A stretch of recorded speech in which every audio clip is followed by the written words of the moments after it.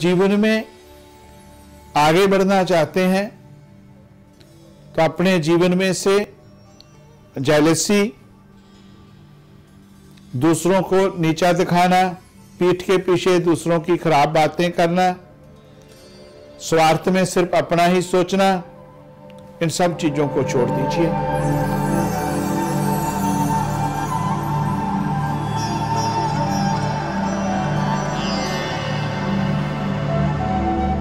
नमस्कार दोस्तों, जय माता दी। दोस्तों एस्ट्रोलॉजी में जैसे सब कुछ हम ग्रहों के अधीन मानते हैं स्पिरिचुअलिज्म में हम सब कुछ सेवन चक्रा के अधीन मानते हैं। हमारे अंतर में जो विचार होते हैं जो हमारी सोच होती है, जो हम अपने सबकॉन्शियस माइंड में जाने में, अनजाने में चलता रहता, सोचते रहते हैं, जो अलग अलग चक्राज की हमारी स्थिति होती है, वही आगे हमारा अब्बा मंडल होता है, जिसको हम ओरा कहते हैं। आप देखें, किसी व्यक्ति के पास आप बैठते हो तो आपको बहुत अच्छा लगता है। आप जानते भी नहीं हो उसको।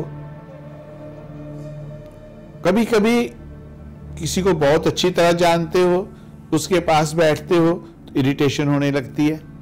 पहला चक्कर हमारा मूलाधार चक्रा,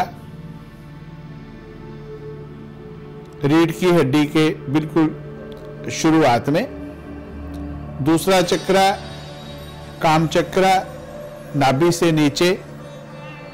तीसरा चक्रा नाभि चक्रा चौथा हृदय चक्रा पांचवा कंठ चक्रा सिक्स आज्ञा चक्रा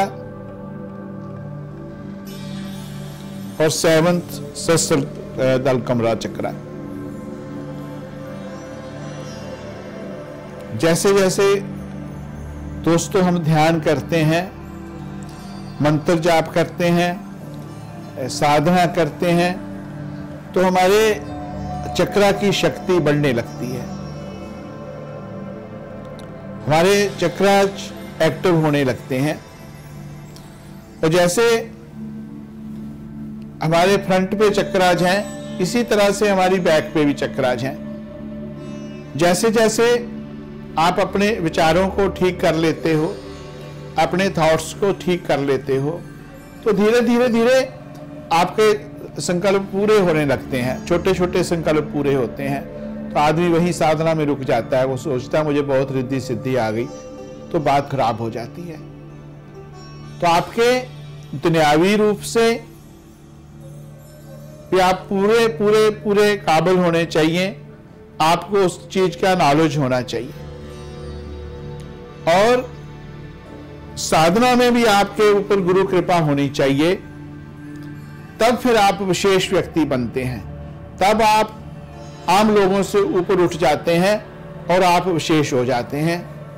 आप विशेष ही हो। जैसे जैसे आपकी सोच बड़ी होती जाती है तैसे तैसे भगवान, परमात्मा, ईश्वर, आपके इष्ट आपको बड़ा व्यक्ति बनाते जाते हैं। ध्यान की लगभग विज्ञान भैरव तंत्र के मुताबिक 118 विधियाँ हैं। 118 के भी आगे छोटे छोटे भाग हैं। मंत्र जाप जाप से ध्यान ध्यान से समाधि। जब आपकी ऐसी अवस्था आ जाती है तो आप एक दूसरे व्यक्ति हो जाते हैं।